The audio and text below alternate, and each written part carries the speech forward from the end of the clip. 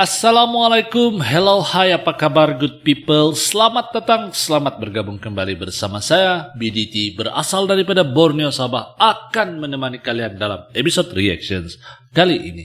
Moga kalian yang sudah klik, sudah nonton, sentiasa berada dalam keadaan yang sehat, sentiasa dimurahkan rezeki, dipermudahkan juga segala urusan dunia dan akhirat. Dan kalau Anda atau ada orang di sekeliling Anda sedang diuji dengan sakit, moga dikurniakan kesehatan, diberikan kesembuhan, dan juga diberikan kesenangan hati dan perasaan, dilapangkan perasaan, dimurahkan segala rezeki, dan dilimpahkan segala kesenangan. Amin ya rabbal alamin. Guys, Hari ini saya akan buat sebuah reactions video daripada channel Info Unique guys, oke? Okay? Nah, judul daripada video ini pula adalah Kota Besar Tapi Sepi. Kok bisa? 10 kota tersepi di Indonesia.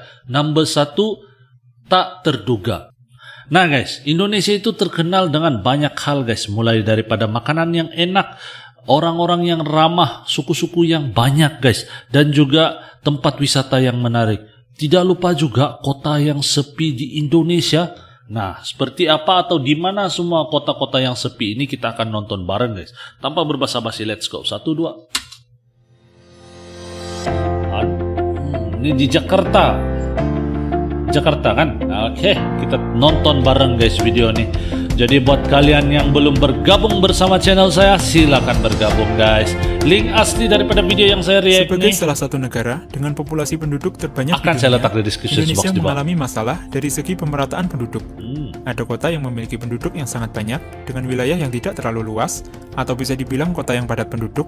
Ada pula yang memiliki penduduk yang sangat sedikit padahal wilayahnya cukup luas. Nah, atau bisa dibilang kota yang sepi. Kota sepi. Nah. Berikut ini okay. adalah 10 kota tersepi di Indonesia yang dihitung berdasarkan jumlah penduduk per kilometer persegi 10 atau berdasarkan kepadatan tersepi. penduduknya. Sebagai catatan, kota yang masuk dalam daftar ini berstatus sebagai kota madya yang dipimpin langsung oleh wali kota. Oke, mantap jiwa, mantap jiwa. Mana semua tempatnya? Sebelum memulai daftarnya, jangan lupa untuk subscribe. Iya guys. Link asli link asli video ini saya letak di description box di bawah. Wih cantik yang tadi. Ada pulau di tengah. Wih, macam keren guys. Info unik. Jayapura. Wow, wow, wow. Jayapura. Posisi ke-10 diisi oleh kota di ujung timur Indonesia, Jayapura. Jayapura. Tapi tempatnya kota luas, yang berada guys. di Provinsi Papua ini memiliki luas wilayah 940 km persegi. Uh, lama. Luas wilayah tersebut ditempati oleh 303.000 jiwa. Jika dibagi, maka kepadatan penduduk Jayapura hmm. hanya 323 jiwa per kilometer persegi. Ini betul cantik tau, di kota guys. Tengok ada lagi kita boleh lihat hijau guys. Nah ini nih, ini cantik guys, ini cantik. Uh, ada pulau di tengah. Tidak lupa juga ini apa nih? Seterusnya, wah keren. Site, apa di mana?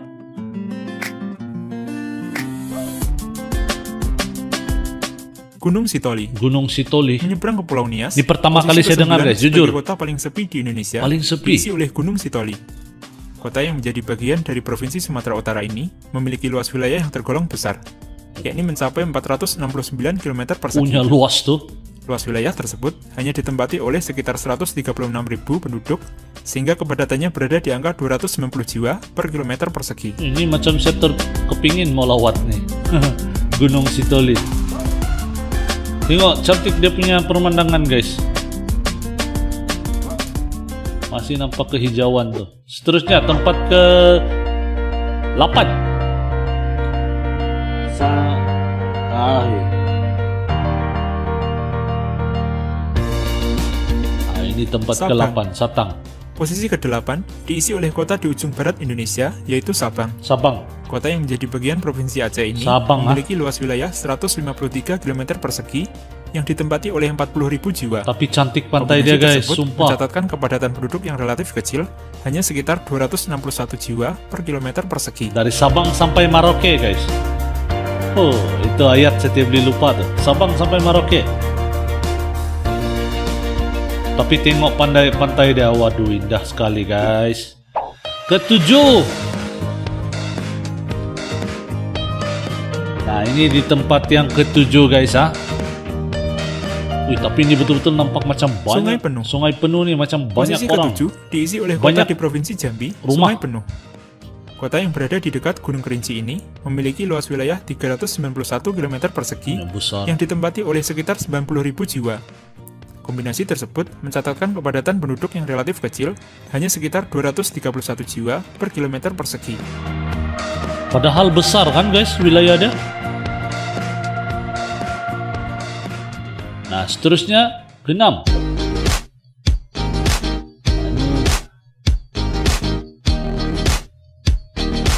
Ini pula macam bukan di Indonesia guys. Kita tengok nih, nah, nah, nah. Oh, Sawah Lunto Sawalunto. Bergeser ke ranah Minang, posisi ke-6 sebagai kota paling sepi di Indonesia ditempati oleh Sawah Lunto. Sawalunto. Memiliki luas wilayah 273 km persegi dengan penduduk yang tergolong sedikit, hanya sekitar 62.000 penduduk.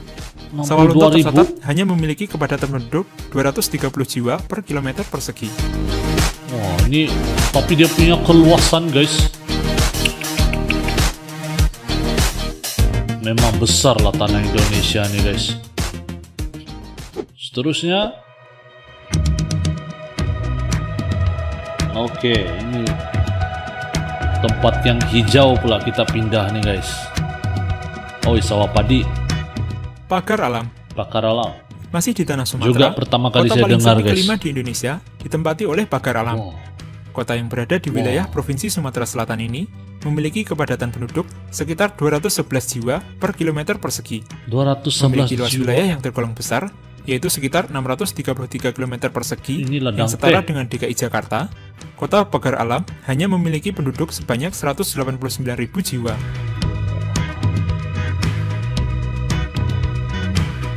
hijau ini betul-betul indah lah guys. Tengok ada gunung lah itu.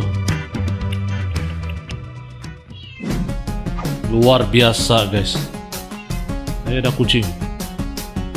Kucing pun mau ikut buat reactions guys mana tempatnya Dumai. Dumai Posisi keempat diisi oleh kota minyak di Provinsi Riau, Dumai. Dumai oh Salah satu kota terkaya di Indonesia ini hanya dihuni oleh sekitar 174 jiwa per kilometer persegi. 174 jiwa Dari segi area, kota Dumai memiliki luas wilayah 1772 km persegi. Sementara dari segi populasi, kota ini memiliki jumlah penduduk sebanyak 308.000 jiwa. keren sekali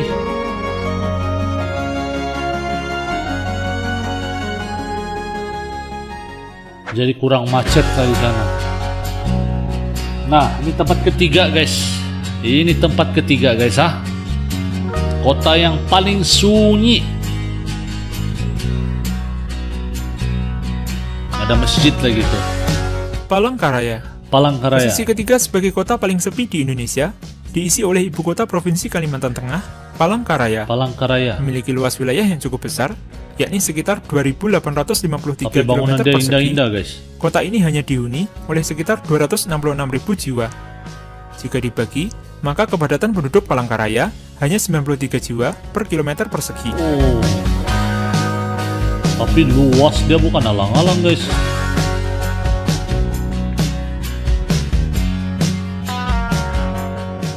tiga ribu. Wow. Tempat kedua guys. Tempat kedua Tidore Kepulauan. Tidore Posisi kedua sebagai kota tersepi di Indonesia. Tapi ini bangunan dia cantik, Tidore guys. Kepulauan. Tengok nih. Kota yang berada di Ini Provinsi bangunan apa, Maluku guys? Utara ini memiliki kepadatan penduduk yang tergolong Nah kecil. kalau kalian tahu itu bangunan apa tadi, nah ini 71 jiwa per kilometer persegi. Pada Kalau ada yang tahu, silakan komen, guys, Kota ah. ini sempat terkenal Mana karena tahu. menjadi salah satu pusat rempah-rempah terkemuka di Indonesia. Nah lepas, uh cantik kok bangunan nih. Nah kalau kalau ada orang yang dari sini, silakan komen di ruang komen di bawah guys. Nah tempat pertama, oh ini Subulus Salam. 10 salam pertama kali saya dengar. sepi di Indonesia jatuh kepada kota Subulus Salam. 10 salam. Kota yang berada di provinsi Aceh ini hanya dihuni di Aceh. 67 jiwa per kilometer persegi. Untuk ukuran sebuah kota, wilayah Subulus Salam tergolong besar.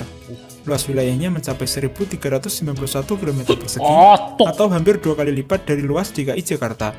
Punya Namun, luas. Populasi penduduknya hanya sekitar 93.000 jiwa. Belum diterokai Membuat lagi. Subulus Salam dinobatkan sebagai kota paling sepi di Indonesia. Wih, nah. Punya luas, guys. Besar dari Jakarta, kota Jakarta nih. Cum, tapi dia punya anu kecil eh, penduduk dia tidak ramai lah. Oke guys, jadi demikian video yang baru kita nonton kota-kota yang 10 kota tersepi di Indonesia gitu.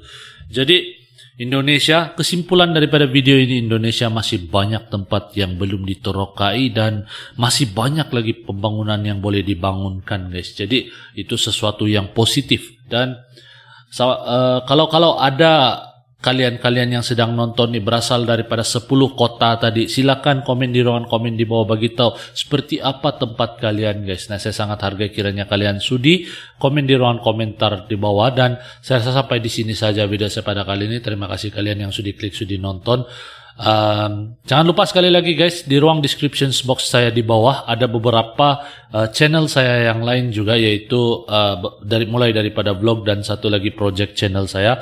Dan kiranya kalian sudi bergabung dan membantu channel kecil itu untuk ber- berkembang juga. Saya sangat hargai guys ya. saya sangat hargai. Terima kasih saya ucapkan. Sampai di sini saja video saya pada kali ini. Terima kasih guys. Salam santun salam damai salam silaturahmi. Assalamualaikum.